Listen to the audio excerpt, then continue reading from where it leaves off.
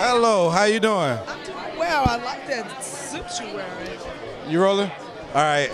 I have Miss Sonja. First, congratulations on The Wire being uh, being recognized.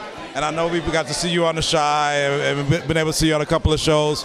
But how does it how does it feel like to have a show that like everybody in this generation kind of like tapped into in some form or fashion? And do you ever get to live down that character? Does everybody expect you to be The Wire when they see you?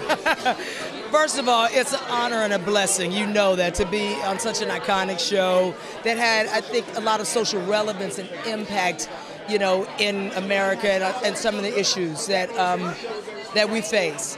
Um, in terms of like being on, you asked sort of like a more personal question about being associated with the show. You know, initially when I kept getting offered cop roles, it was a little annoying. But honestly, I think it's my career has opened up because of The Wire. And now I'm in a different age range. I'm playing evil villains. I, I, but I'm getting an opportunity to play a, a, a, a, wider breadth of characters. But I think that The Wire opened the door for me. And I have to be grateful for that. Yeah. We're grateful for seeing you whenever we get to see you on the screen. And we can't wait to see you on what you got coming on next. Oh, thank you.